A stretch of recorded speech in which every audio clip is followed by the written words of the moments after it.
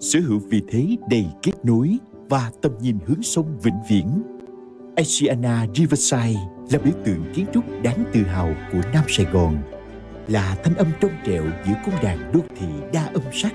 nơi cuộc sống tiện nghi được nâng tầm cao mới, nơi phát huy những nét đẹp văn hóa đáng trân quý của cộng đồng Asiana Riverside, tâm điểm vàng nối vàng tinh hoa, một sản phẩm của tập đoàn Gotek Land